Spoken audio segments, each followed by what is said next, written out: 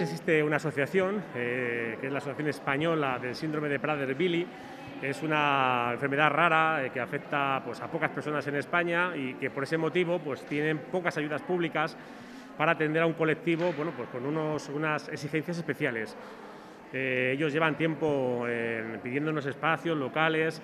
es una enfermedad que, bueno, pues, que afecta a muy, muy pocas personas en Leganés, pero bueno, como ellos tienen su sede nacional aquí en el municipio, hemos encontrado un espacio en el que van a poder construir una pequeña residencia para, bueno, para sus familiares y, dar una solución eh, bueno, una solución a, bueno, pues a las necesidades de este colectivo. La verdad que estamos muy satisfechos de que un espacio público, del Ayuntamiento de Leganes en este caso, pues atienda una necesidad tan importante, tan, bueno, tan, tan necesaria de, esta, de estas personas. Y por tanto, bueno, pues hoy la verdad que es uno de esos días en los que uno se siente satisfecho de ser alcalde al impulsar eh, algo que, bueno, que de verdad es útil para algunos vecinos nuestros.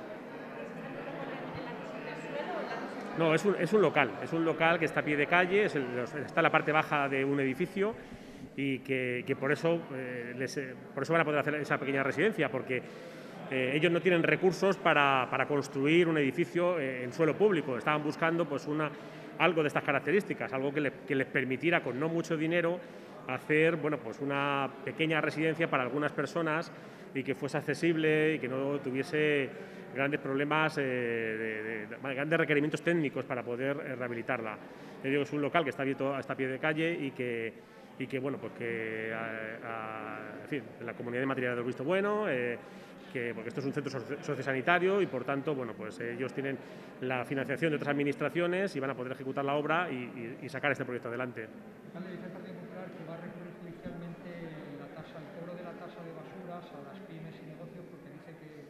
que que, de manera íntegra durante 2020 cuando han estado varios meses cerrados, por lo cual si no se ha prestado el servicio dice que, sería ilegal ese cobro. Bueno, a ver, es que el servicio se sigue prestando, es decir, los camiones de basura han pasado todos los días a recoger la basura la doméstica y la industrial. Realmente una administración local no sabe exactamente qué, empresas han cerrado o no han cerrado, quién ha tenido a sus trabajadores en y quién no.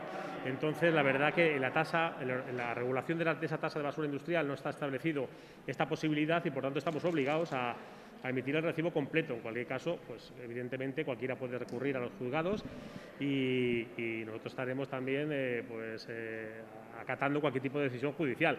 Ya digo que es que no tenemos posibilidad, desde el punto de vista, pensamos que no tenemos posibilidad desde punto de vista administrativo para cambiar el, o inventarnos nada que no, que no estuviese ya previsto en la ordenanza y por tanto es que no se ha podido técnicamente hacer. en cualquier caso también luego hay un problema también de, sentido, eh, de, sentido, práctico y es que es, muy difícil saber eh, qué industrias han cerrado, cuáles no. Ya digo que el servicio se ha seguido eh, prestando diariamente porque era uno de esos servicios esenciales para los ciudadanos y para las empresas y, por tanto, bueno, pues nunca se ha interrumpido.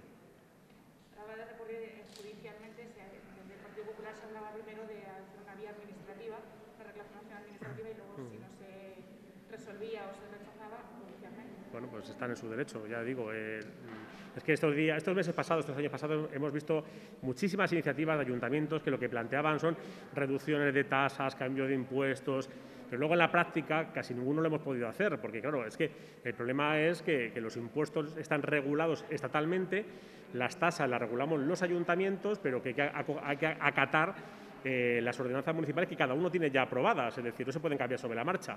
Y por tanto, bueno, pues a pesar de que uno tuviese la voluntad o el deseo de reducirlas, cambiarlas, modificarlas, sobre la marcha no se pueden hacer porque las tasas se aprueban en este caso la tasa de basura industrial, entra en vigor el 1 de enero del año en curso y tiene validez hasta, hasta 31 de diciembre. Es decir, durante el año eh, no se pueden cambiar las cosas porque existe un padrón ya elaborado que se aprueba con, fecha 1, de, enero. Es decir, que, bueno, una cosa es la voluntad política y otra cosa es que, que legalmente se puedan realizar ese tipo de cambios que nos hubiese gustado hacer.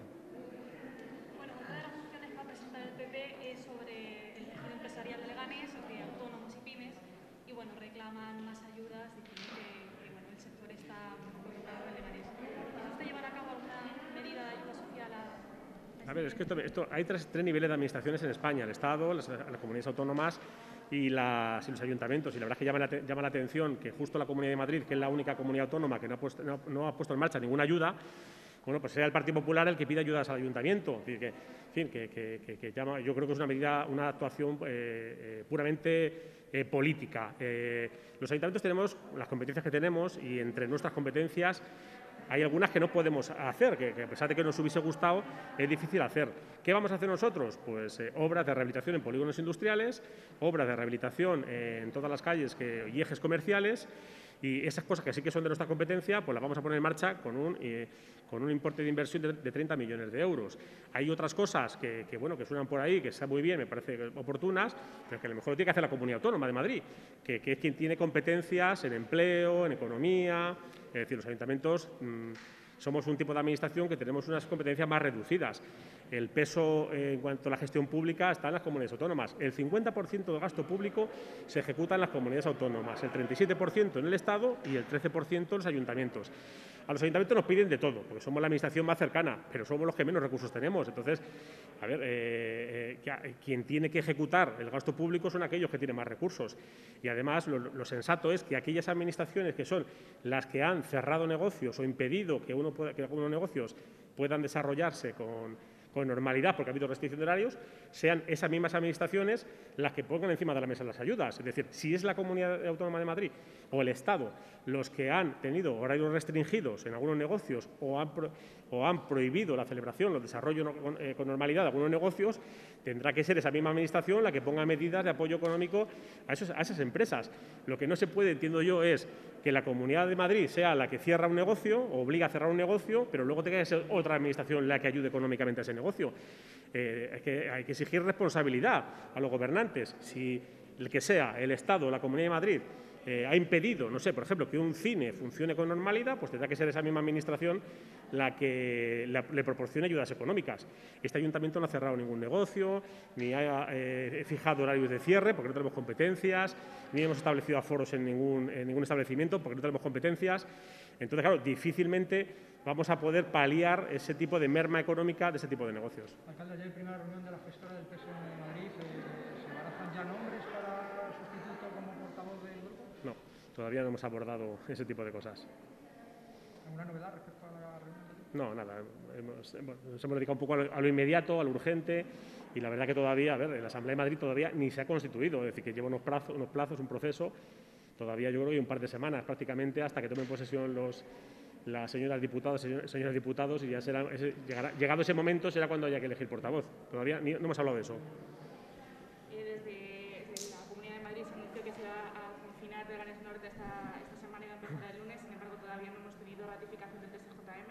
¿Y qué se está haciendo por parte del Ayuntamiento? ¿Se está haciendo controles o todavía no? Eh, informativos, a través de medios de, vamos, de Twitter y de los medios de comunicación municipales estamos dando información a los vecinos. Eh, eh, la policía también aleatoriamente está haciendo algún tipo de control informativo y, bueno, en, general la mayoría de los vecinos están concienciados, como ya pasó en La Fortuna, y, bueno, pues eh, yo creo que se cumplen mayoritariamente las, normas.